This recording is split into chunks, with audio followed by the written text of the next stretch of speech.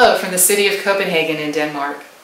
When you hear Denmark, and more specifically the city of Copenhagen, it might conjure up images of The Little Mermaid, Tivoli Gardens, which was actually inspired Walt Disney to build Disneyland, and the author Hans Christian Andersen. But Denmark is also a leader in another area, and this one might surprise you. It's called sustainability, and it's the idea of reducing or even eliminating the impact that humans have on the planet. The Danes look at this as a competitive advantage, something that will help them and the rest of us in the future. Today, I have the honor of speaking with Helen Lundgaard, who is the spokesperson for the Superbike Highway in the Copenhagen region of Denmark. Thank you for joining us, Helen. Thank you. I was here about 30 years ago as well, and there were bikes, of course, 30 years ago, but now it's impressive, all the lanes, the lights, there's even like lights at the intersections. And so now there's also this super highway, so tell us a little bit about that. As you mentioned, we have had a long history for bicycle planning and uh, and we have a, an amazing cycle inf infrastructure for cycling, uh, which means that uh, people do cycle a lot. Mm -hmm. um, but uh, we have visionary politicians uh, that they want to improve even more and they want more people to bicycle. Mm -hmm. Also longer trips than just the small trips. Uh, so for this reason they think they thought that we might uh, make uh, even higher standards for the bicycle lanes. And then we can get more people to bicycle mm -hmm. and there are good arguments for doing this.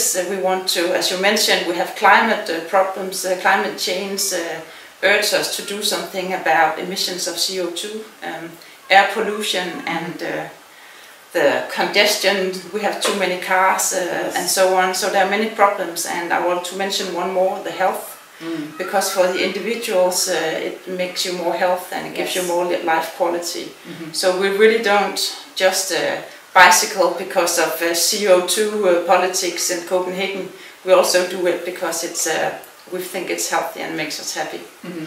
So the superhighway is actually going out to what we would call the suburbs of Copenhagen, yes, not yes. just the city. Yes. So what has, how far does it go right now, and, and what kind of Which usage? It's a, maybe maybe a radius of uh, 20, 15, 20 kilometers. We have plans for the the routes. Mm -hmm. It's a network of uh, lanes that was planned by by the planners and mm -hmm. uh, and accepted by the politicians. Mm -hmm and we, and um, and uh, we also were talking to more municipalities um, um, in a distance more than uh, 20 kilometers from oh, wow. Copenhagen now to make it even longer.